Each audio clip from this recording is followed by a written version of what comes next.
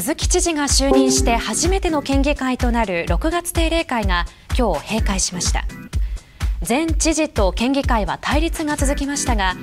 会派は鈴木知事のデビュー戦となった6月定例会をどう評価したのでしょうか。鈴木知事にとって初の県議会となった6月定例会の最終日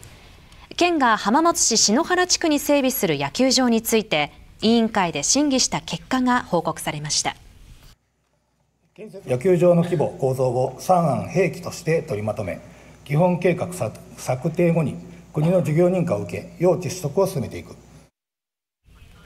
県は議会から野球場などの基本計画案の理解を得られたとして今後浜松市との新たな協議会を立ち上げ費用負担などの検討に入ります。今年度中に国の事業認可の取得を目指す方針で長年の懸案だった大型プロジェクトが動くことになります。ご所感一言お願いしますはいあの無事に定例会も終了いたしましてえー、よかったなと思います。粛々と議会は大変大事なものでありますから。前知事とは対立を繰り返した最大会派の自民改革会議はおおむね落ち着いた議会運営になったと一定の評価をしました。国との関係あるいは近隣府県近隣都県との関係あるいはさまざまな、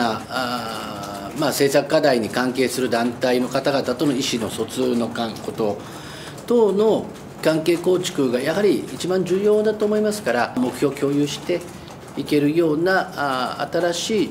まあ、当局と我々との関係を、まあ、築き直す。第二会派の富士の国県民クラブは